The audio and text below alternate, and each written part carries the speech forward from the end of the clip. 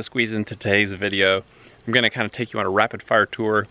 There are so many things that I want to show you on our place. There's a lot of neat stuff happening. Let's get started now. You've seen some of our sunflower patches. I don't know though if you've really seen kind of the scope of our sunflowers. So here's one patch. Here's another patch at the side of the house. And then of course you've seen the sunflowers in our garden. Here they are. We have sunflowers to pick as many as we want. Japanese beetle on an apple tree. Some of the apple trees are not doing so great. I think this one's doing the worst. It's grown about 12 inches this year, but a lot of the leaves are dried. Looks like caterpillars have been chewing on it. And then it just has some yellowing leaves. So I have some reading and research to do to try to figure out what's up with that tree in particular. Other trees, in fact, most of them are doing awesome. This one's grown uh, I think two feet this year and most of the leaves look perfect. The first tree I showed you, the diseased one, is a Cox's Orange Pippin. It's an old variety and I'm not real surprised it's doing poorly. It's not known especially for its disease resistance. The one that's doing great is called a MacFree and it's known to be very disease resistant. We opened up a big section to the chickens on the outside of our pasture fence and we also let the goats and the cow in here. The goats are coming in here and still working on clearing some brush for us. And the chickens are also able to go out into the pasture. Look at what the goats have done to this section of woods here. I'm gonna try to show you a video from the other day of what this looked like before. And then some of them have actually gone out into this wood section. And that's good because they're actually gonna be forced to go out and forage and find some interesting stuff. So here's the view before the goats from above this section of woods and now after the goats. Look at that, look what they've done. It's just amazing. Mama Duck is doing amazing. She is fiercely protective and her ducklings are the cutest things in the world. There they go, little ducklings. All eight of them are still living. They've made trips all the way down into the pasture. They were way down in the pasture. When we let them out this morning, they seem to be doing really well. And Donald seems to have actually taken a liking to them and he seems a little protective actually. Did you notice Donald has a new coat? He molted recently and he's just a beautiful white color again. Right above the chickens, there's a little bird nest and you can hear the babies up there.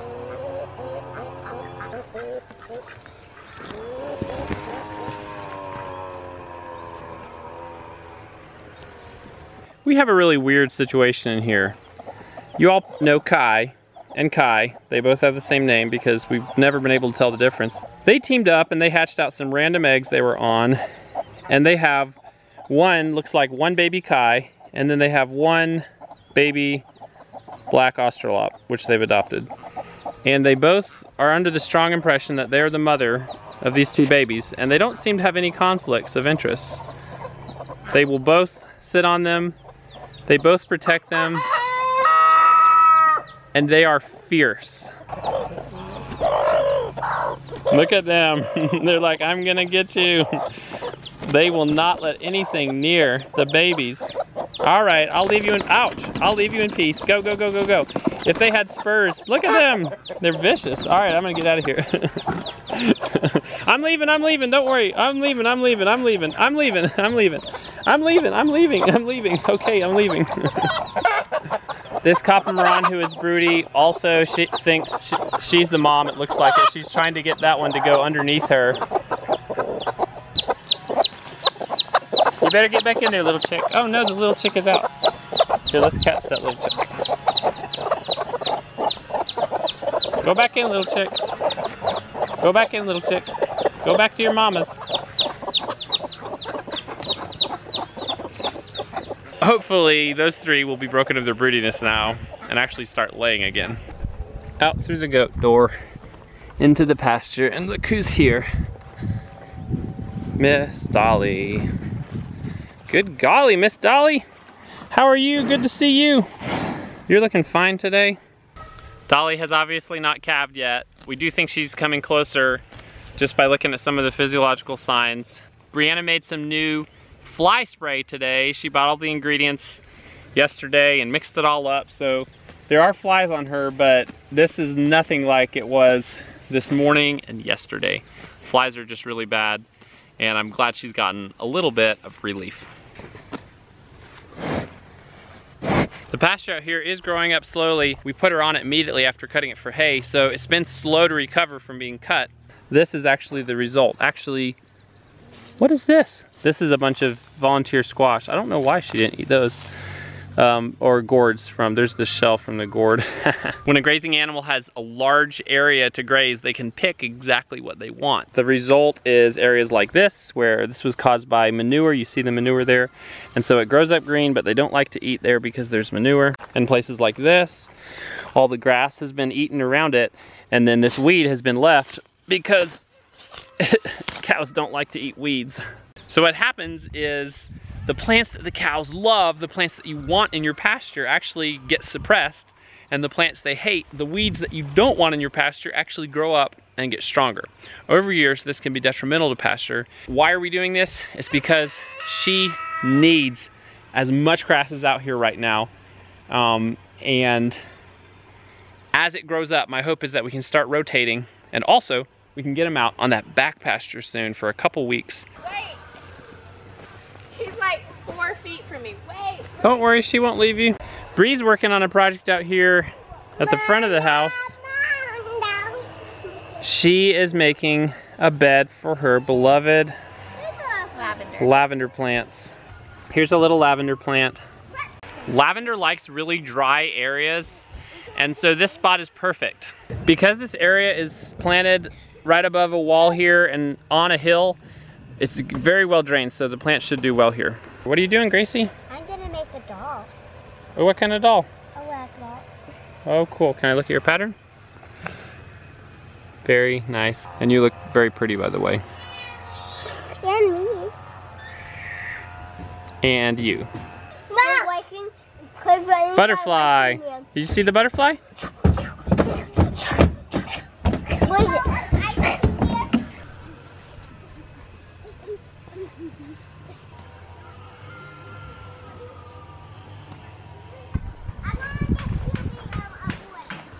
In the garden now, smashing a few of these little bean beetles. They are just eating up these beans, the volunteer half runners. Interestingly, the purple beans, they're bush beans, they actually have done really well in comparison. Here's the flower and the bean is coming right out of the flower before the flower's fallen off. There's actually some more significant beans on the volunteer half runners. Here's some.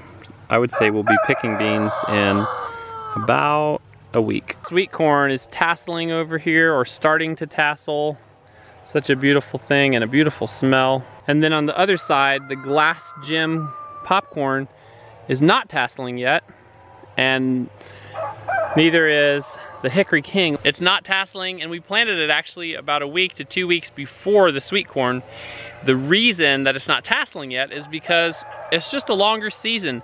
I think if I remember it's 110 days or so to, from planting to harvest on the Hickory King and it's closer to 80 days on our sweet corn. Look how tall this stalk of corn is above my head.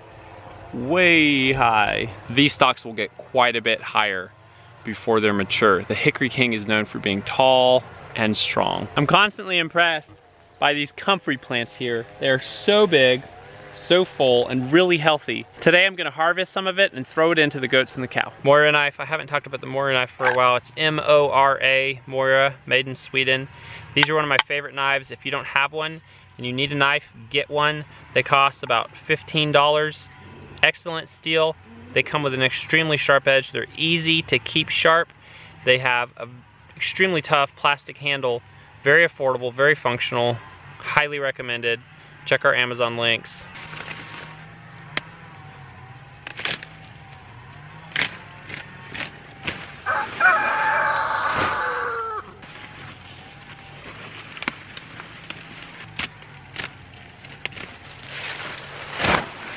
So I've cut these two plants off at the ground and look at just this mass. This is a couple pounds of greens here. Comfrey is very high in protein.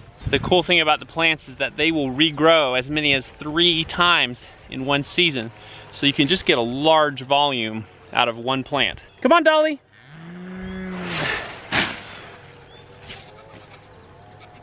Here they come.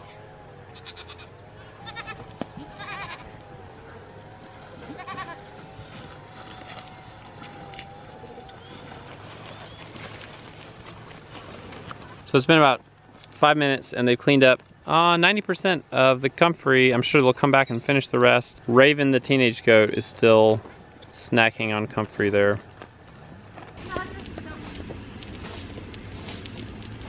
On the evening of a day where we had several good hours of rain, I thought it would be a good time to honor the time-honored tradition of burning brush. Can I put this in the fire? Yeah, throw it in.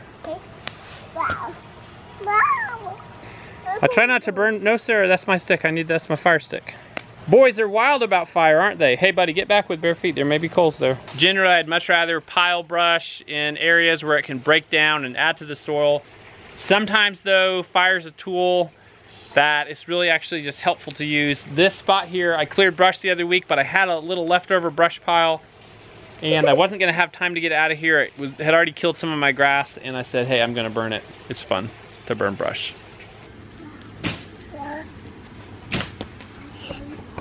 No, wait, wait. No. Look at, look at focusing. Right, boy. Please don't touch the camera. Look at focusing. Were you gonna throw the camera in the fire? so that was definitely another great day on the homestead. Miss Joy's in here, cutting up yellow squash from the neighbors. There's hamburgers cooking, fine looking wife. Wash. And french fries in the oven, but not homemade tonight. I usually make them homemade. Sounds delicious.